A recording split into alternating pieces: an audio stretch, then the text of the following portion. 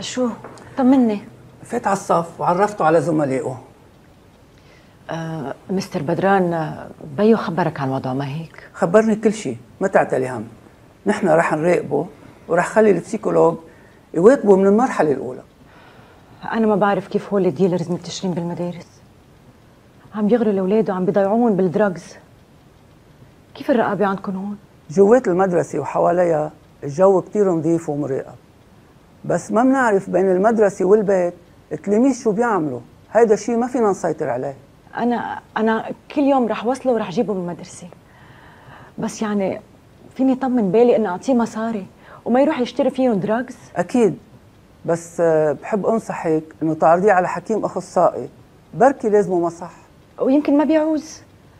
ما كان له زمان مبلش. يعني يمكن بعد ما تملك فيه. إن شاء الله. بس المهم يكون عنده إرادة قوية تيقدر يتخلى عن المخدرات. إيه بمساعدتكم وبالجو اللي رح تأمنوا له إياه إن شاء الله بيتغير وبيتوب عن هالأخبار. مستر بدران حضرتك شرحت للتيتشرز تبعوله وضعه يعني ليتفهموا تصرفاته بحالة هجم عليهم أو شيء. ولا يهمك مدام. نحن كلنا واقفين حدكم وحده. مستر غازي أفضاله كتير كبيرة على المدرسة بكل فروعاتها. ميرسي.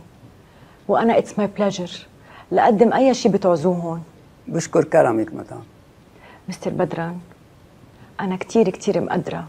وقفتك حدي ميرسي. واجباتنا ولو